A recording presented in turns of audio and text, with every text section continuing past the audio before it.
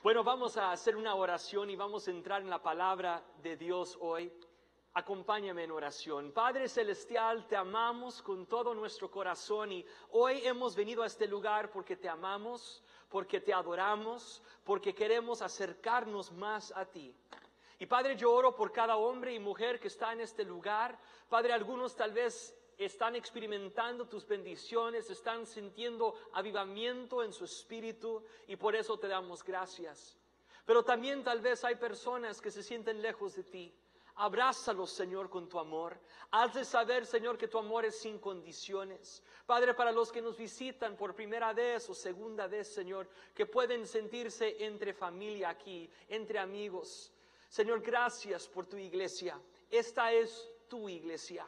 Y hoy, Señor, nos acercamos a tu palabra y abrimos nuestro corazón y decimos, cámbiame, Dios. Muéstrame cosas que no he visto antes. Háblame, guíame y transfórmame hoy en el nombre de Jesús. Y el pueblo de Dios dice un fuerte amén.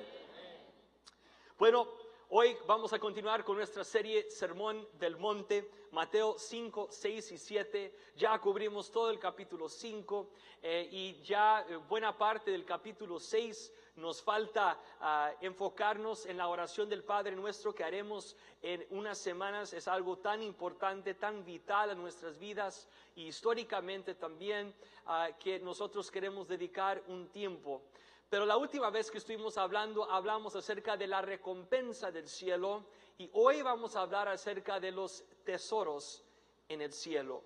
Si tiene su Biblia, busca conmigo en Mateo el capítulo 6, verso 19. Y aunque el enfoque de hoy va a ser del verso 19 al 21, vamos a leer del 19 al 24. En un momento van a entender por qué. Dice en Mateo 6, 19, Dice, no almacenes tesoros aquí en la tierra, donde las polillas se los comen y el óxido los destruye, y donde los ladrones entran y roban. Almacena tus tesoros en el cielo, donde las polillas y el óxido no pueden destruir, y los ladrones no entran a robar. Donde esté tu tesoro, ahí estarán también los deseos de tu corazón. Ahora, nota aquí el verso 22 y 23. Dice, tu ojo es una lámpara que da luz a tu cuerpo. Cuando tu ojo es bueno, todo tu cuerpo está lleno de luz. Pero cuando tu ojo es malo, todo tu cuerpo está lleno de oscuridad. Y si la luz que crees tener en realidad es oscuridad, qué densa es esa oscuridad. Finalmente, verso 24 dice, nadie puede servir a dos amos. Puedes, pues odiará a uno y amará al otro. Será leal a uno y despreciará al otro. No se puede servir a Dios y al dinero. Ahora, vamos a hacer algunas preguntas hoy acerca del contexto de lo que vamos a hablar. Eh, una cosa que quiero recordarles, y esto es una enseñanza que te quiero dar como pastor, yo como pastor los quiero pastorear también, como maestro los quiero enseñar, ¿verdad? Eh, y a veces eh, proféticamente quiero predicarles algo y, esperamos que, que, sea algo completo hoy lo que, lo que vamos a ministrar. Esto no es original a mí, pero es una frase que tal vez has escuchado. Texto fuera de contexto es un pretexto. Nota eso. ¿ok? Entonces, eso lo que quiere decir es de que cuando estamos estudiando alguna escritura, tenemos que ver el contexto. Si no, podemos torcer el significado del texto de la escritura y hacerlo decir cosa que no dice. Entonces, el contexto quiere decir qué es lo que está alrededor, ¿verdad? Obviamente lo que está antes, lo que está después, ¿verdad? Entonces hoy vamos a, ver el contexto aquí de Mateo el capítulo 6 versos 19 al 21. Y parte de la razón que quería yo poner el contexto, leer esos extra eh, versos ahí, es para dar un poquito más de contexto. Eh, la primera pregunta que hacemos acerca del contexto es, ¿por qué la lámpara? ¿Se dieron cuenta ahí en el verso 22 y 23? Que después de hablar de tesoros en el cielo del 19 al 21, y, hablar del dinero, que no podemos eh, amar a dos cosas al mismo tiempo, a Dios y al dinero, en el verso 24, en medio es- está esta escritura que habla acerca de la lámpara y la luz. ¿Qué tiene que ver eso con el dinero y con los tesoros en el cielo y con amar a Dios o amar al dinero? Buena pregunta, ¿verdad? Tenemos que hacer- hacernos esas preguntas. No es por accidente que está ahí. Y la respuesta te la voy a dar la semana que viene. Eso lo vamos a estudiar. Por eso les dije que hoy nos vamos a enfocar del 19 al 21. Es muy interesante, les digo de antemano, es muy interesante el significado de eso. Yo nunca lo había entendido hasta esta semana, por qué Jesús usó esta frase. Y quiero mostrarles algo con lo que estoy diciéndote. Yo sabía que Mateo 5, 6 y 7 contenía conceptos y versos tan importantes y muy conocidos, la oración del Padre nuestro, las bienaventuranzas, eh, la escritura que en un momento vamos a ver que habla acerca de buscar primeramente el reino de Dios. Y, yo sé que, que por, por supuesto no se contradicen, pero estamos ahora aprendiendo cómo estas cosas son un concepto, precepto sobre precepto, o son principios que se van construyendo, el uno sobre el otro. Y por eso tenemos que examinar cada verso en su contexto. La semana que viene vamos a entender por qué habla de una lámpara. La segunda pregunta que nos hacemos es, ¿hay una conexión de contexto a, a las otras partes previas del capítulo 6? ¿Se acuerdan que la última vez que estuvimos hablando hablamos acerca de la recompensa del cielo, verdad? Eh, sabíamos que en el, verso 3 dice, pero tú cuando le des a alguien que pasa necesidad, que no sepa tu mano izquierda lo que hace tu derecha, entrega tu ayuda en privado y tu Padre, quien todo lo ve, te recompensará. ¿Ok? ¿Qué tiene que ver eso con el verso 19? ¿O es un concepto completamente diferente? ¿Fue otro día que Jesús estuvo hablando? ¿Es otro tema, cambió de tema? ¿O es posible que cuando Jesús habla acerca de nuestro tesoro en la tierra o tesoro en el cielo, todavía está dando continuidad a la primera parte del capítulo? ¿Se acuerdan el verso 6? Dice, pero tú cuando ores, apártate a solas, cierra la puerta detrás de ti y ora a tu Padre en privado. Entonces tu Padre, quien todo lo ve, te recompensará. Y el verso 18 que vimos la última vez, así nadie se dará cuenta de que esté- estás ayunando excepto tu Padre, quien sabe lo que haces en privado, y tu Padre, quien todo lo ve, te recompensará. Ese es el contexto, los versos anteriores. Y recordamos que la frase clave aquí, en esos tres ejemplos, verso 4 y, y 6 y 18 es, y tu Padre, quien todo lo ve, te recompensará. Entonces tenemos un Padre que nos da recompensa, la recompensa del cielo. Y ahora Jesús está hablando acerca de los tesoros del cielo. Ahora, ese es otro concepto que te quiero enseñar para que cuando tú vas estudiando la Biblia lo puedes hacer de una manera correcta. La interpretación más poderosa de la escritura es la misma escritura. En otras palabras, puedes encontrar buenos autores cristianos que pueden darte eh, cierto comentario acerca de escritura. Yo lo uso, yo lo estudio, a, veces leo comentarios de personas eh, que escribieron sus opiniones y cómo interpretaban ellos ciertas escrituras de los primeros dos, tres siglos después de Cristo. También yo leo comentarios de los años 1600, 1700. También yo leo comentarios de pastores que hoy en día predican y viven. Y son interpretaciones modernas. No hay nada malo con eso. A veces podemos entender eh, perspectiva que, que normalmente no podemos entender. Pero la manera más correcta de entender escritura es por medio de la escritura. Por eso hablamos del contexto. En otras palabras, antes de sacar una escritura y verla como algo aparte, vamos a examinar qué dice antes y qué dice después. Y ver si ahí mismo nos da la mejor, el mejor comentario, eh, la mejor revelación acerca de esa escritura. Entonces, si vemos en este caso, notamos que Jesús habla de tesoros en el cielo, no como un concepto aislado, pero como algo directamente conectado a la oración del Padre nuestro que ya Él nos enseñó en el capítulo 6. Y también conectando la enseñanza que nuestro Padre, quien todo lo ve, te recompensará. En otras palabras, muchos han escuchado acerca de hacer tus, tus tesoros en el cielo y no en la tierra cuando estamos por levantar una ofrenda. Y tú lo has visto como una escritura acerca de dar. Y sí lo es. Y es apropiado mencionarlo en el momento de dar nuestra ofrenda. Y en sí, solito, tiene mucho poder estos conceptos. Pero quiero mostrarte que es un concepto conectado a otras partes del capítulo 6. Por eso te mostraba estos otros ejemplos. Tercera pregunta, ¿hay una conexión de contexto a, partes posteriores del capítulo 6? En otras palabras, ¿este concepto sigue corriendo? Bueno, eh, uno de los de los versos eh, tal vez más conocidos eh, entre los cristianos es el verso 33 de Mateo 6. Busquen el reino de Dios por encima de todo lo demás y lleven una vida justa y Él les dará todo lo que necesiten. Muchos de ustedes conocen esa, escritura por memoria.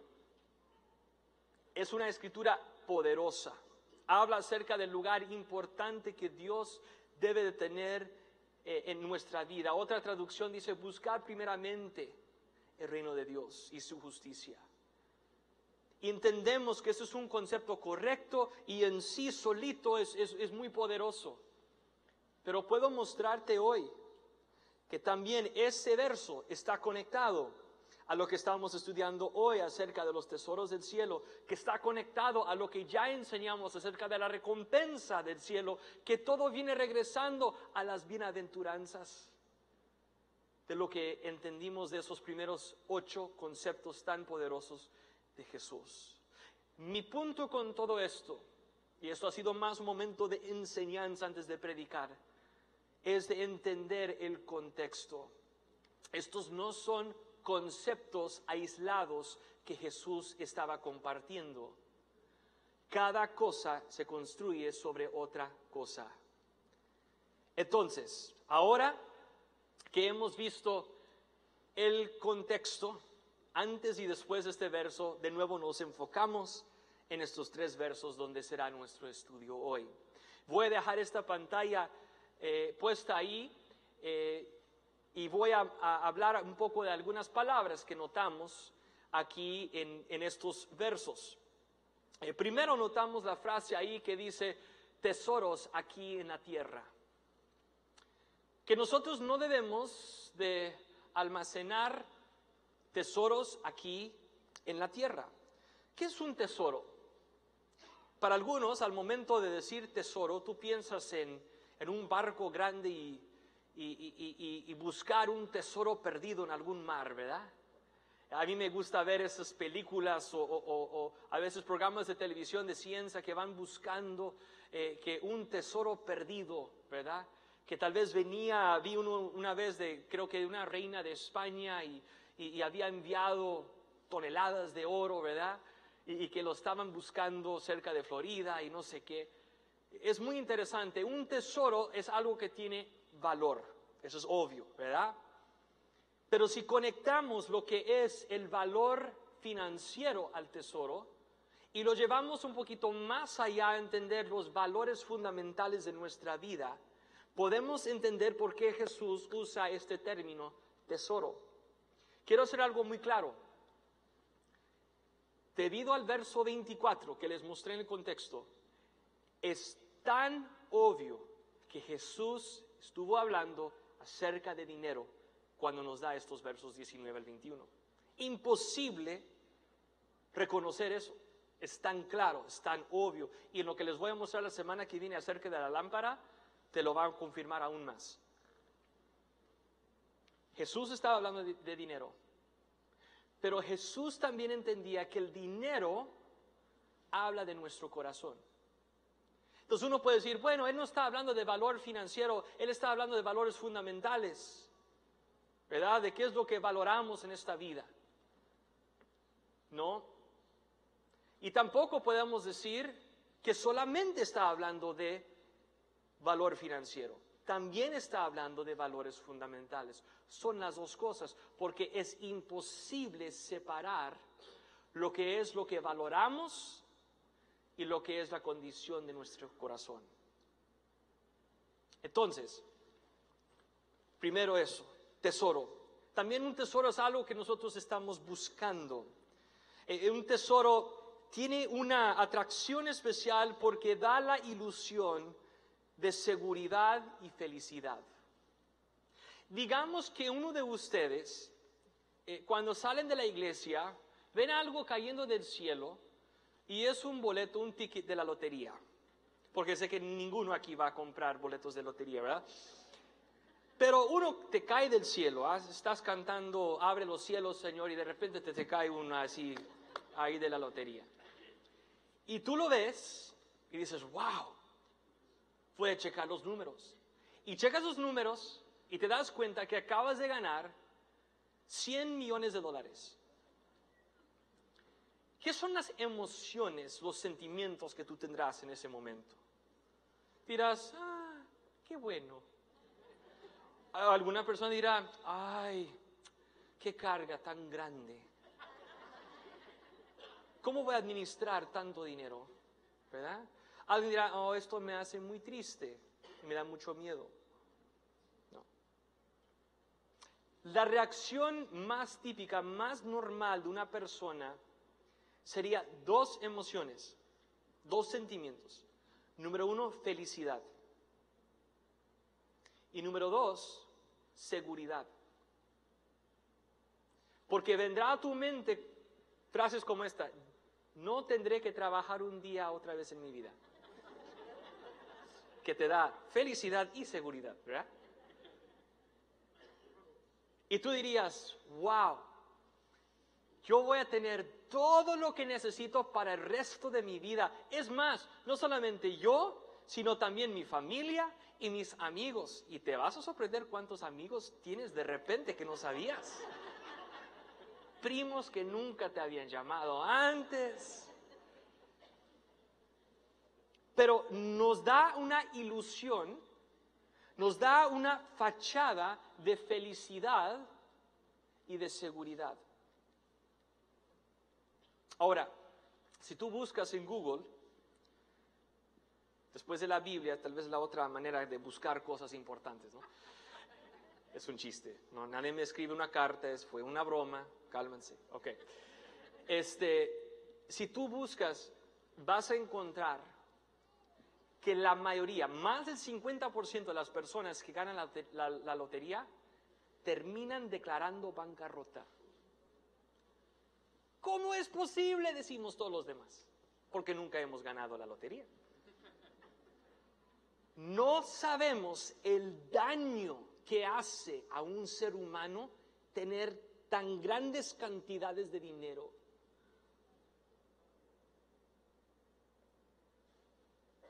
Vemos esto con artistas, vemos esto con los de deporte.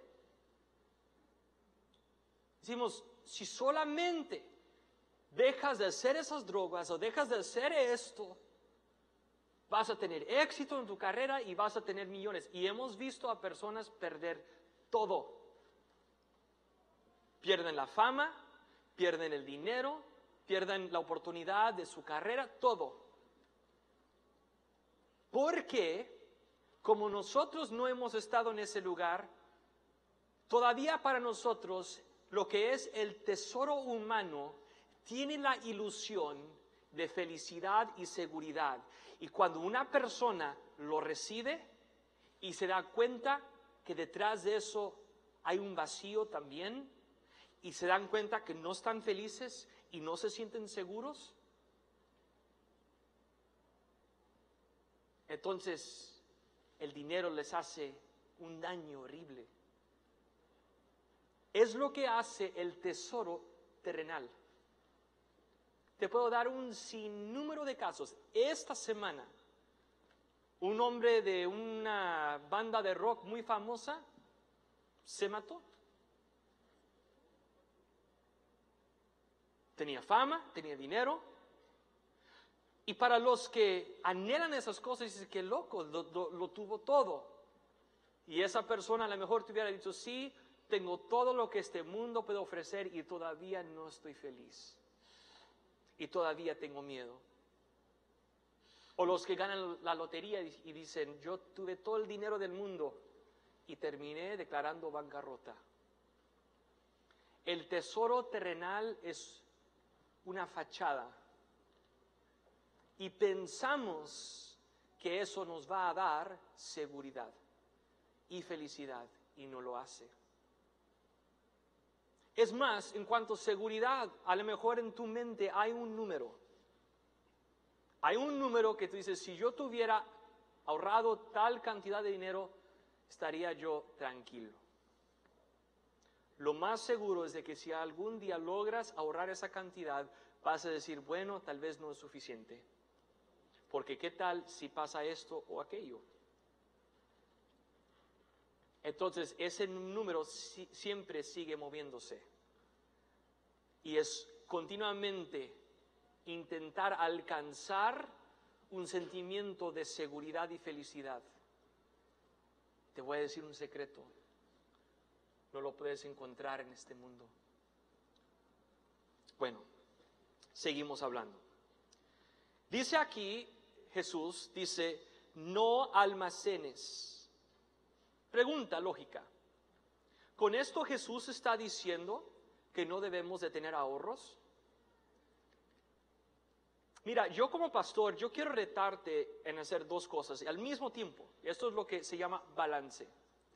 Yo espero que por lo que entendemos de la palabra de Dios y a veces por el mover del Espíritu Santo, que algún día tú vas a ser retado a dar una cantidad enorme de dinero como una ofrenda aquí en esta iglesia. Sin pena te lo digo. ¿Por qué? Porque yo lo he hecho, otros lo han hecho, he visto la bendición de Dios para las personas que lo hacen. Dios no es deudor a nadie. Y yo espero que tú experimentes ese tipo de bendición en tu vida y esa libertad de decir, ¿sabe qué? Lo di con gozo. Yo espero que tú conoces ese, lado. Y el otro lado de la moneda, intencionalmente uso ese ejemplo, es espero que también aquí tú aprendes cómo ser sabio y cómo tener ahorros. Pues ¿cuál debo hacernos, pastor? Porque si doy así con generosidad grande, así de, de loco, y después me dices que debo tener ahorros, pues ¿cuál? El Espíritu Santo te va a indicar. Pero aquí Jesús no está diciendo que no debemos de tener ahorros. Otra vez, si, usamos la misma escritura para dar interpretación a la escritura, sabemos que la Biblia no se va a contradicir. Y nota lo que dice Proverbios 13, 22. Dice, la gente buena deja una herencia a sus nietos. Ahora, hay, que entender el contraste, la diferencia que hay entre almacenar dinero y ahorrar dinero. ¿Has visto algún niño que tiene un juguete y otro niño entra a la clase o a, la sala y hace así? Él no está ahorrando su juguete. Él tiene miedo que otra persona se lo va a quitar. ¿Entiende la diferencia? Ahorros es algo bíblico, es algo que nos da eh, el ejemplo en la Biblia y eso es algo de sabiduría que debemos de hacer. También generosidad enorme está en la Biblia. El Espíritu Santo te va a indicar cuándo, cómo y cuánto. Ok, y esto nos lleva a la siguiente cosa, hablando de los ahorros. La diferencia es no confiar en nuestros ahorros. Bueno, pastor, este, estudié mucho acerca de dónde invertir mi dinero y, y la verdad le tengo bastante confianza. Bueno, espero que ¿No te pasa lo que le pasó a los de la caída de la bolsa de valores de 1929 que comenzó la gran depresión en esta nación? Donde hombres se tiraban del edificio, de los edificios grandes de Nueva York, el año 1929, porque en un día perdieron todo. Ah, pues eso fue hace mucho, eso ya no sucede, ya hay maneras sofisticadas de manejar las inversiones. Ok, espero que no tuviste ningún dinero invertido en United Airlines hace como dos o tres semanas. ¿Han escuchado de un video donde sacaron una persona y quedó con sangre por toda la boca y todo lo demás?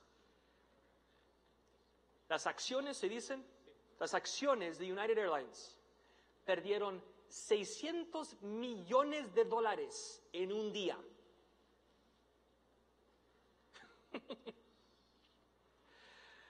ah, no, pero yo, yo le confío, pastor, a, a mi sistema, cómo estoy ahorrando el dinero y cómo lo estoy invirtiendo. ¿Sabe qué? Es bueno usar conceptos sabios de la palabra de Dios. Por eso nosotros ofrecemos clases como conceptos financieros, como paz financiera, que te pueden mostrar bíblicamente cómo ser generoso, cómo poner a Dios en primer lugar en tus finanzas, cómo cuidar y proteger a tu familia, cómo tener ahorros, cómo hacer inversiones, cómo comprar una casa. Desafortunadamente, a veces en el, reino de Dios nos, vamos a extremos tan grandes. Y puedes ir a una iglesia donde todo es ser súper organizado y, súper cuidadoso con todo. O otra iglesia donde básicamente te hacen sentir que debes de vender tu casa hoy y traer todo el dinero a la iglesia y poner tus anillos y reloj ahí en la canasta de la ofrenda y, y si no estás en desobediencia. Hermanos, no es así ni así. La palabra de Dios es una verdad y es una verdad completa.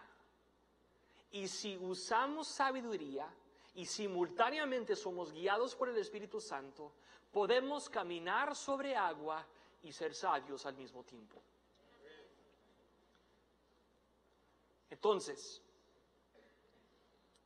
no podemos confiar en nuestros ahorros, es el punto. Mateo 10:39 dice, si te aferras a tu vida, la perderás. Pero si entregas tu vida por mí, la salvarás. Siguiente pregunta, ¿el dinero o tener dinero es malo? No. Yo conozco grandes hombres y mujeres de Dios que avanzan el reino de Dios y son millonarios, multimillonarios. Y aman a Dios hoy más que nunca. ¿Cuál es la diferencia?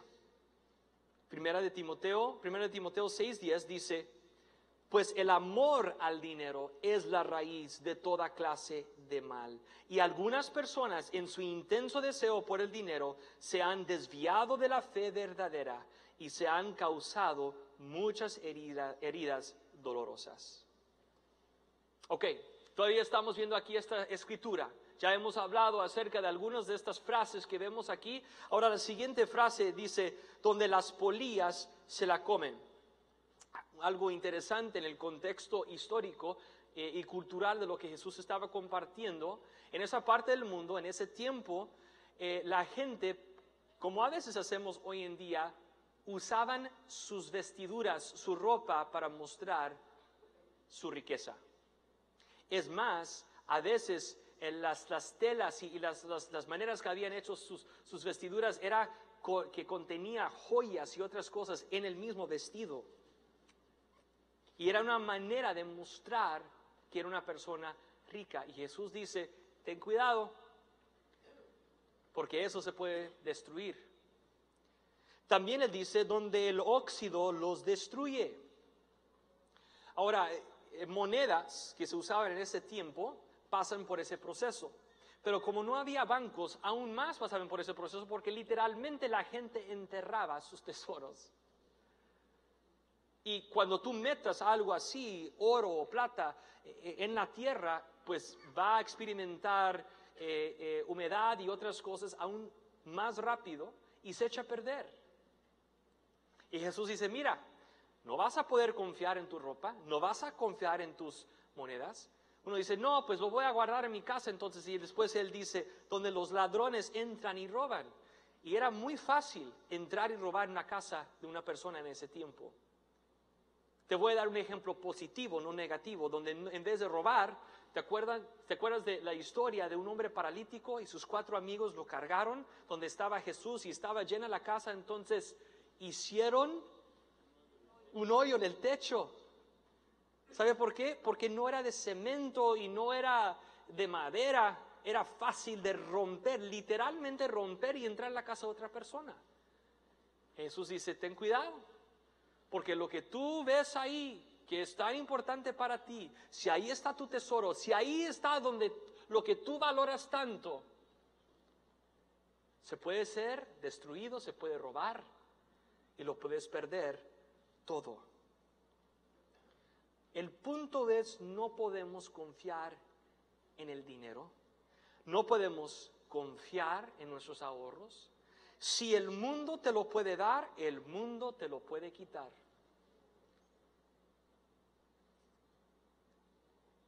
Pero lo que almacenes en el cielo no se puede robar ni echar a perder.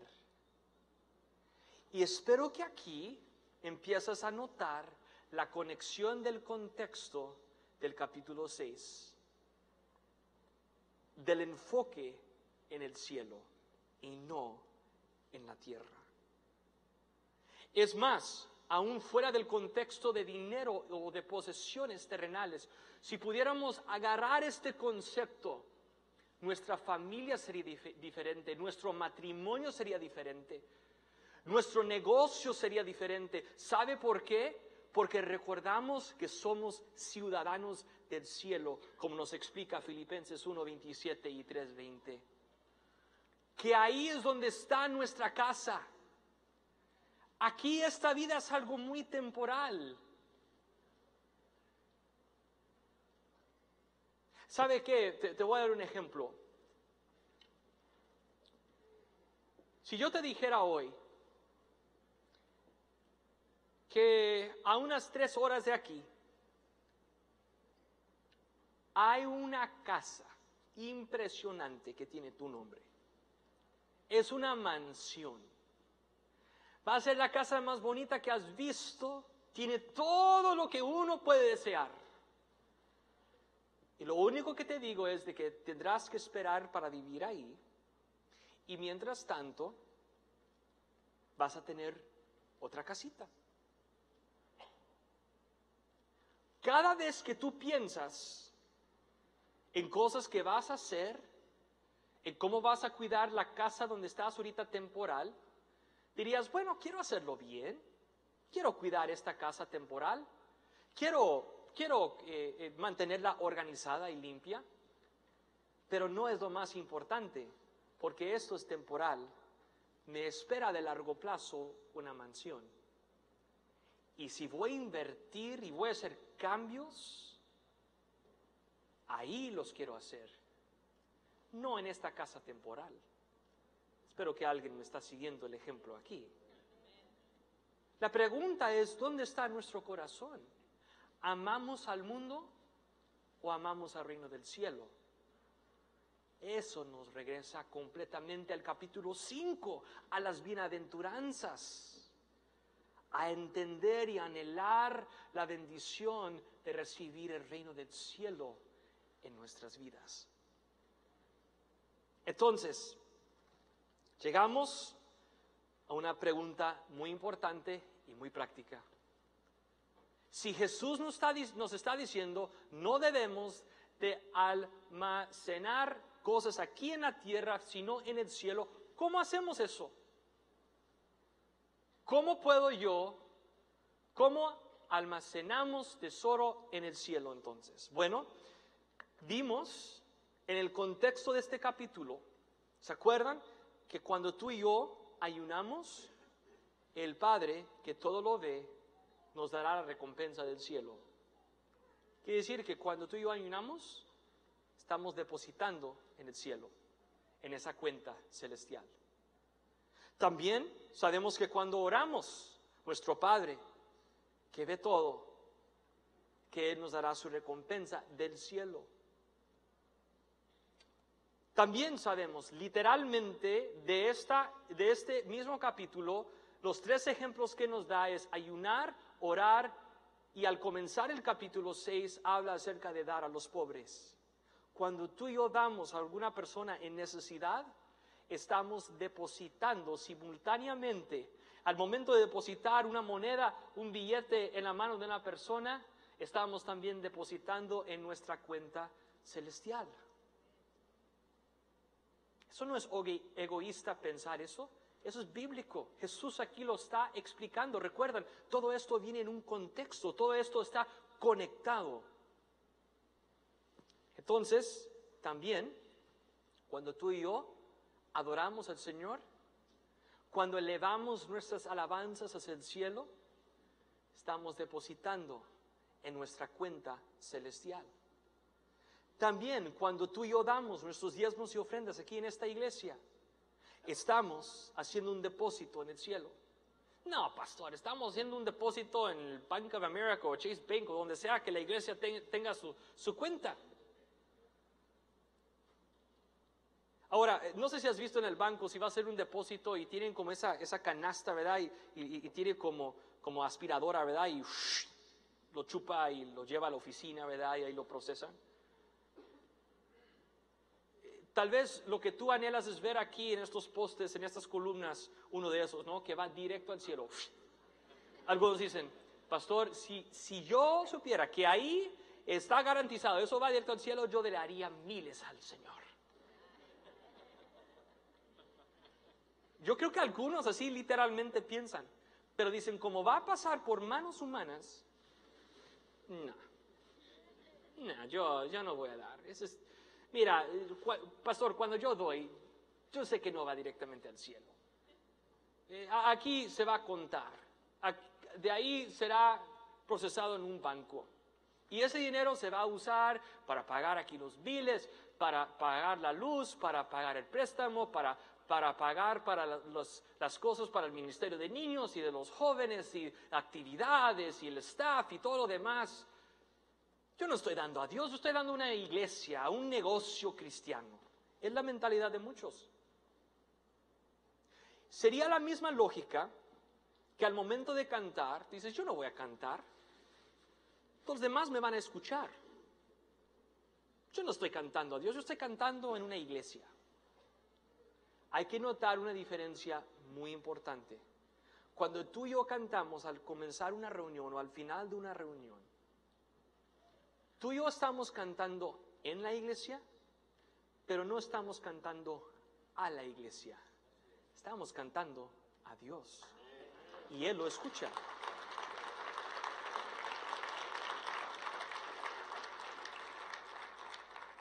En lo que vieron del video de Submobile, que es algo que hacemos para ayudar a gente pobre en nuestra ciudad, me escucharon citar Mateo 25. ¿Qué es lo que Jesús dice? acerca de cuando damos de comer a una persona en necesidad, de que cuando hacemos eso a una de esas personas es como si lo hubiéramos hecho directamente a Jesús. Uno dice, pues yo no puse comida en las manos de Jesús, yo lo di a un pobre. Jesús dice, cuando tú lo haces a uno de ellos, lo haces a mí. Cuando tú cantas, Dios lo recibe cuando tú das, Dios lo recibe. O tal vez es procesado en una iglesia, tal vez es administrado en una iglesia. bueno, ¿y, qué tal, pastor, si, si, si, si, usan mal el dinero? Yo, yo quiero saber cómo se va a administrar ese dinero y a qué va a ir. Bueno, quiero explicarte algo. Otra vez aquí viene balance, los dos lados de la moneda. Por un lado, debemos de sembrar en buena tierra. Ten cuidado de enviar dinero a ministerios que ves en la televisión o que escuchas en la radio, aunque muchos de ellos son mis amigos y los amo, de vez en cuando hay otros de ellos que es sembrar en tierra no muy buena. Todos lo sabemos, no vamos a ignorar, no vamos a fingir, lo sabemos, hemos leído y hemos visto los escándalos que a veces suceden de estas situaciones y nos da tanta tristeza. Entonces hay que sembrar en buena tierra. Esta es buena tierra, lo puedo decir con toda integridad y claridad y honestidad delante de Dios. Este lugar es buena tierra, te lo recomiendo, sembrar aquí. Entonces, por un lado, tenemos que sembrar en buena tierra. Por otro lado, no importa. ¿Cómo, pastor? ¿Sabe por qué? Porque la bendición en dar no viene de cómo es usado lo que tú das, viene de tu corazón al darlo. Piensa esto pues, de esta manera. Digamos que yo te doy un regalo muy bonito en tu cumpleaños. Y es un regalo muy bonito. Y tú lo tomas y dices gracias. Y después lo tiras a la basura. ¿Eso cambió mi motivo en darlo? No. Entonces, hermanos, hay que sembrar en buena tierra, pero por otro lado, el momento que tú sueltas y tú das al Señor, sea dando a alguna persona pobre en necesidad o a alguien en la iglesia. Por ejemplo, cuando uno da a, una persona en la calle, mi esposa y yo siempre tratamos de dar algo cuando vemos una persona en necesidad en la calle.